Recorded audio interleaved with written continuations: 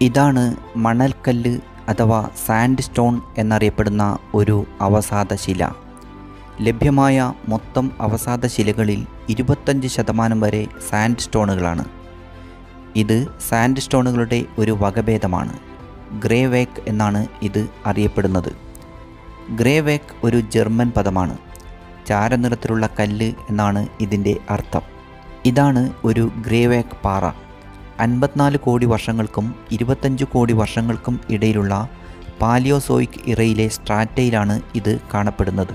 അവസാദ ശിരകളുടെ പാളികളെയാണ് ജിയോളജിയിൽ strata എന്ന് പറയുന്നത്. ന്യൂസിലാൻഡിലെ ഒരു ഗ്രേവാക് ക്ലിഫ് ആണിത്. ആയിരത്തി എണ്ണൂറ്റി മുപ്പത്തിനാലിൽ ശാസ്ത്രലോകത്ത് കുടുംബിരി കൊണ്ട ഒരു വിവാദം ആരംഭിച്ചു. ദ ഗ്രേറ്റ് ഡിവോണിയൻ കോൺട്രവേഴ്സി എന്നാണ് ഈ വാദപ്രതിവാദം അറിയപ്പെടുന്നത്.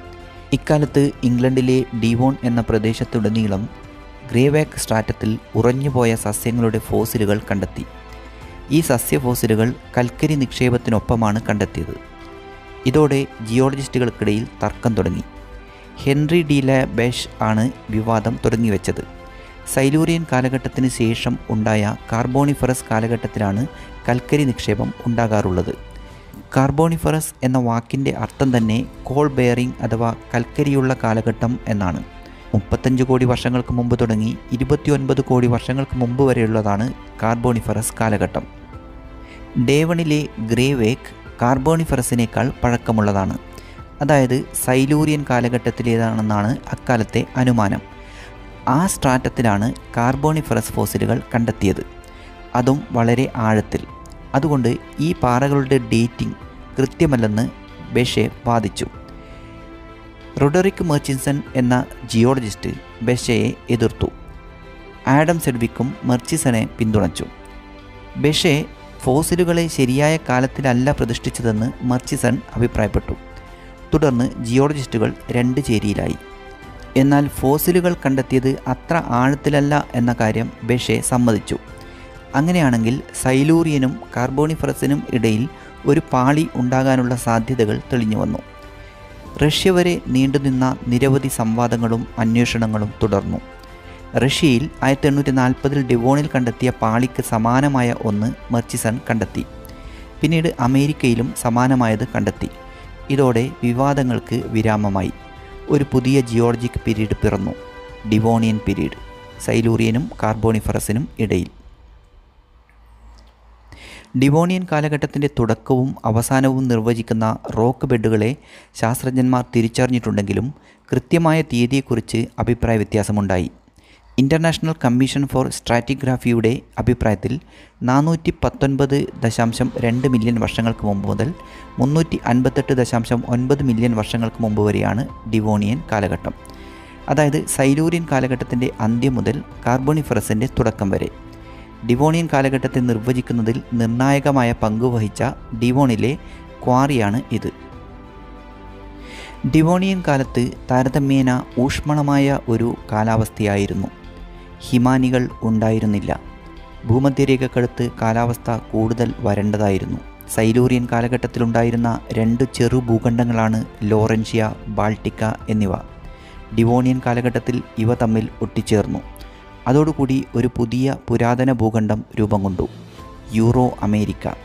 ലോറേഷ്യ എന്നും ഈ ഭൂഖണ്ഡം അറിയപ്പെടുന്നു.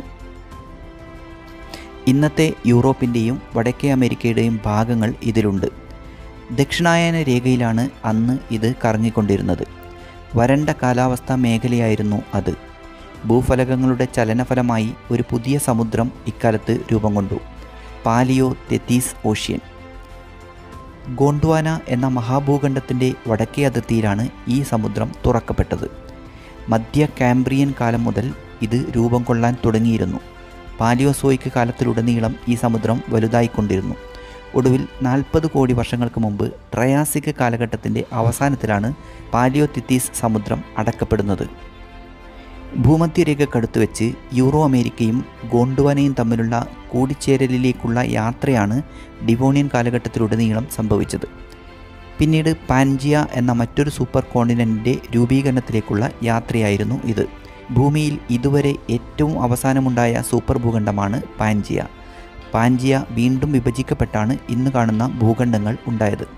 ഇപ്പോഴത്തെ ഭൂഖണ്ഡങ്ങൾ ഒട്ടിച്ചേർന്ന് ഭാവിയിൽ വീണ്ടും ഒരു സൂപ്പർ കോണ്ടിനന്റ് ഉണ്ടായേക്കാം. ഡിവോണിയൻ കാലഘട്ടത്തിൽ യൂറോ അമേരിക്കയും ഗോണ്ടുവാനയും അടുത്തതിന്റെ ഫലമായി വടക്കേ അമേരിക്കയിലെ അപ്പലേച്ചിയൻ പർവതനിര കൂടുതൽ ഉയർന്നു വന്നു. കൂടാതെ ഈ ചലനത്തിന്റെ ഫലമായി ഇന്നത്തെ ഗ്രേറ്റ് ബ്രിട്ടനിലെയും സ്കാൻഡിനേവിയയിലെയും കാലഡോണിയൻ പർവതങ്ങൾ രൂപപ്പെട്ടു. സമുദ്രജലനിരപ്പ് ഇക്കാലത്തും ഉയർന്നു നിന്നു. കൂടുതൽ കരഭാഗവും ആഴം കുറഞ്ഞ കടലിനടിയിലായിരുന്നു. ഇവിടെ ട്രോപ്പിക്കൽ റീഫ് ജീവജാലങ്ങൾ അഭിവൃദ്ധി പ്രാപിച്ചു. ആഴമേറിയ പന്തലാസ സമുദ്രമാണ് ഈ ഗ്രഹത്തിന്റെ ബാക്കിയുള്ള ഭാഗത്ത് നിറഞ്ഞു നിന്നത്. ചെറു സമുദ്രങ്ങൾ ധാരാളം ഉണ്ടായിരുന്നു. അവയിലൊന്നാണ് യൂരാൽ ഓഷ്യൻ. സൈബീരിയ ബാൾട്ടിക്ക എന്നീ ഭൂഖണ്ഡങ്ങൾക്കിടയിലായിരുന്നു യൂരൽ സമുദ്രം. സൈബീരിയയും ബാൾട്ടിക്കയും ഒട്ടിച്ചേർന്നതോടെ ഈ സമുദ്രം ഇക്കാലത്ത് ഇല്ലാതായി. ബ്രയോസോവ ബ്രാക്യോപോഡ്സ് കോറലുകൾ ക്രൈനോയിഡുകൾ എന്നിവ തന്നെയാണ് ഇക്കാലത്തും കടലിൽ മേധാവിത്വം പുലർത്തിയത്. ട്രൈലോബൈറ്റുകളും ഇക്കാലത്ത് സാധാരണമായിരുന്നു. നട്ടലുള്ള ജീവികളിൽ താടിയലില്ലാത്ത കവചിത മത്സ്യങ്ങളുടെ എണ്ണം കുറഞ്ഞപ്പോൾ താടിയലുള്ള മത്സ്യങ്ങളുടെ എണ്ണവും വൈവിധ്യവും കൂടി വന്നു. ഏജ് ഓഫ് ഫിഷ് എന്നുകൂടി അറിയപ്പെടുന്ന കാലഘട്ടമാണ് ഡിവോണിയൻ. എല്ലുള്ള മത്സ്യങ്ങൾ വൈവിധ്യപൂർണമായി കടലിൽ നിന്ന് കരയിലേക്ക് കുടിയേറിയ മത്സ്യത്തിന്റെ പ്രതിനിധിയായ ടിക്ടാലിക് ഈ കാലഘട്ടത്തിലാണ് പരിണമിച്ചുണ്ടാകുന്നത്. സ്രാവുകളുടെ ഒരു വംശനാശം വന്ന വിഭാഗമാണ് ഇത്. ഇവ ആദ്യമായി ധാരാളം കാണപ്പെടുന്നത് ഇക്കാലത്താണ്. കരയിൽ ജീവികളുടെ കോളനി കോളനിവൽക്കരണം പൂർവാധികം ശക്തിയോടെ ഇക്കാലത്തും തുടർന്നു. സൈലൂര്യൻ കാലത്തുണ്ടായിരുന്ന മോസ് വനങ്ങൾ ബാക്ടീരിയൽ ആൽഗൽ മാറ്റുകൾ എന്നിവയ്ക്കൊപ്പം ഡിവോണിയൻ കാലത്ത് ആദ്യത്തെ വേരുള്ള സസ്യങ്ങൾ പരിണമിച്ചു വന്നു. ഇത് നല്ല മണ്ണിന്റെ രൂപീകരണത്തിന് കാരണമായി. ഈ പുതിയ ആവാസ വ്യവസ്ഥ പുഴുക്കൾ തേളുകൾ ട്രൈഗോണോടാർബിഡ മിരിയാപ്പോഡുകൾ എന്നിവയുടെ ഉത്ഭവത്തിനും പരിണാമത്തിനും കാരണമായി. കരയിലും വെള്ളത്തിലും ജീവിക്കുന്ന ആർത്രോപോഡുകൾ കാംബ്രിയൻ കാലഘട്ടത്തിൽ തന്നെ ഉണ്ടായിരുന്നു. ഡിവോണിയൻ കാലഘട്ടത്തിലെ ഏറ്റവും വലിയ കരജീവി പ്രോട്ടോടാക്സിറ്റസ് ആണ്. ഇതൊരു ഫംഗസ് ആണ് കൊമ്പ് പോലെയുള്ള ഇതിന്റെ ഉയരം എട്ട് മീറ്ററും വണ്ണം ഒരു മീറ്ററും ആണ്. ആദ്യത്തെ ഇൻസെക്റ്റുകളുടെ ഫോസിലുകളും ഡെവോണിയൻ കാലഘട്ടത്തിലേതാണ്. ആദ്യത്തെ നാൽക്കാലികളുടെ അതായത് ടെട്രാപോഡുകളുടെ ഫോസിലുകളും ഇക്കാലത്തേതാണ്. ഒരു പൂർവിക ജീവിവർഗത്തിൽ നിന്ന് വളരെ ചുരുങ്ങിയ കാലത്തിൽ പുതിയ ജീവികൾ ഉണ്ടായിത്തീരുന്ന പ്രക്രിയയാണ് അഡാപ്റ്റീവ് റേഡിയേഷൻ എന്നറിയപ്പെടുന്നത്. വരണ്ട ഭൂമിയിൽ ജീവികളുടെ ആദ്യത്തെ അഡാപ്റ്റീവ് റേഡിയേഷൻ ഉണ്ടാകുന്നത് ഡിവോണിയൻ കാലത്താണ്. സൈലൂറിയൻ കാലത്ത് സസ്യങ്ങൾ ജലസാന്നിധ്യമുള്ള പ്രദേശങ്ങളിൽ മാത്രമേ ഉണ്ടായിരുന്നുള്ളൂ.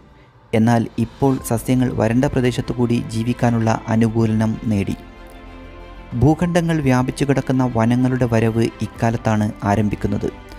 പല സസ്യങ്ങളിലും ഇലകളും വേരുകളും പരിണമിച്ചു വന്നു. സൂര്യപ്രകാശം സ്വീകരിക്കാനും ജലത്തെ വലിച്ചെടുക്കാനും ശേഷിയുള്ള സസ്യങ്ങൾ അതിജീവിച്ചു.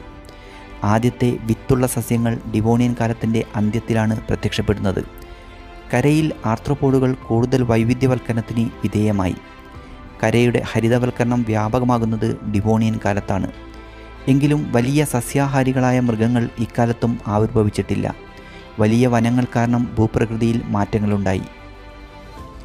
ഇന്ന് കാണപ്പെടുന്നത് പോലെയുള്ള മണ്ണ് രൂപപ്പെടുന്നത് ഡിവോണിയൻ കാലത്താണ്. പ്രാചീന ജന്തുജാലങ്ങളും പ്രാചീന സസ്യജാലങ്ങളും പരസ്പരം ബന്ധപ്പെട്ടാണ് പരിണമിക്കുന്നത്. വേരുകളുടെ ആവിർഭാവം മണ്ണൊലിപ്പിനെയും അവസാദങ്ങളുടെ നിക്ഷേപങ്ങളെയും സ്വാധീനിച്ചു. കരയിലെ പുതിയ ആവാസ വ്യവസ്ഥ നട്ടലുള്ള ആദ്യത്തെ ജന്തുക്കളെ കരയിലേക്ക് സ്വാഗതം ചെയ്തു. ലേറ്റ് ഡിവോണിയൻ എക്സ്റ്റിൻഷൻ എന്നറിയപ്പെടുന്ന വംശനാശത്തോടു കൂടിയാണ് ഈ കാലഘട്ടം അവസാനിക്കുന്നത്. മറ്റു വംശനാശങ്ങളിൽ നിന്ന് ഭിന്നമാണ് ലേറ്റ് ഡിവോണിയൻ എക്സ്റ്റിൻഷൻ. ഇത് ഒരു ഒറ്റ സംഭവമല്ല. വംശനാശങ്ങളുടെ ഒരു പരമ്പര തന്നെ ഉണ്ടായതായി കണ്ടെത്തിയിട്ടുണ്ട്. കടൽ ജീവികളെയാണ് ഇത് കൂടുതൽ ബാധിച്ചത്. ഒരു ചിഹ്നഗ്രഹം ഭൂമിയിൽ വന്നിടിച്ചതിന്റെ തുടർച്ചയായി അന്തരീക്ഷത്തിലുണ്ടായ മാറ്റങ്ങളാണ് വംശനാശ സംഭവങ്ങൾക്ക് കാരണമെന്ന് ആയിരത്തി തൊള്ളായിരത്തി അറുപത്തൊമ്പതിൽ കനേഡിയൻ പാലിയന്റോളജിസ്റ്റായ ലാറൻ അഭിപ്രായപ്പെട്ടു. എങ്കിലും കൃത്യമായ തെളിവുകൾ ഇതിനില്ലാത്തതുകൊണ്ട് ഈ വാദം സ്വീകരിക്കപ്പെട്ടില്ല. ഇപ്പോഴും ലേറ്റ് ഡിവോണിയൻ എക്സ്റ്റിങ്ഷന്റെ യഥാർത്ഥ കാരണങ്ങൾ വെളിപ്പെട്ടിട്ടില്ല.